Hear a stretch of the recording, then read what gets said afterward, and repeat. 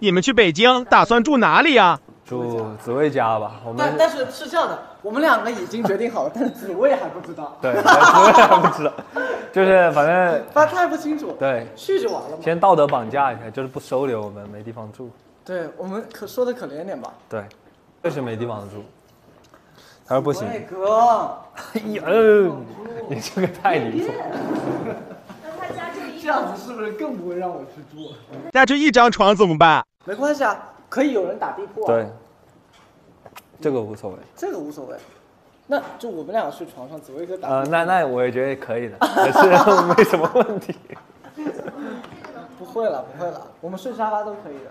紫薇好像是合租，那就很难了吧？那他就更适合，那他他已经适应了合租的生活，那我们俩去他就会更开心了，对，他就不需要适应了嘛，对吧？解释。对啊，对啊，我们等下去问一下嘛。嗯，事物对，我们的多面性。我们等下到他如果时再说。真的拒绝的话，我会跟你们说的。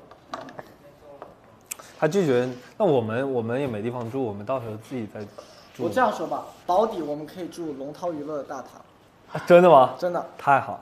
怎么说？你小心龙涛娱乐看上他之后把他签了，然后你就 什么你俩变对手了啊！啊你不扯啊！但是我们同公司为什么会是对手？你看这种就是一个资源只有一个人他的他的他的着装就看出来，这个人心里就很阴暗。是好了，没事了，我们到时候再商量。主要他们紫位了，对对对，主要是通这知紫薇的。不是通知，这没这怎么通知？这怎么通知肯定得直接入住，都不直接把你入住行李直接搬过去。